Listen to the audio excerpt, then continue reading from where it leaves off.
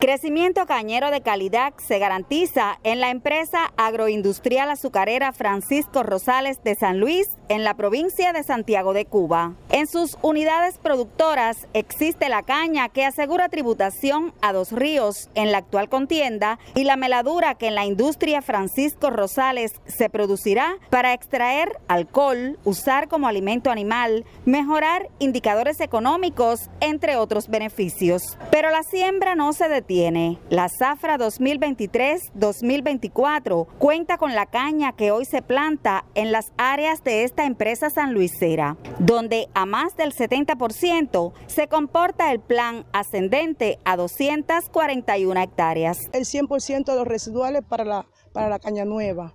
Eso está asegurado de decir que la caña va a cerrar limpia, además de las atenciones del cultivo, detrás del corte, todo eso está asegurado. No hay ningún problema para el crecimiento cañero de nuestra empresa. Eh, la caña que nosotros sembramos eh, procede del banco de semillas, una parte, y otra de la finca de semillas de las unidades productoras, semillas de buena calidad.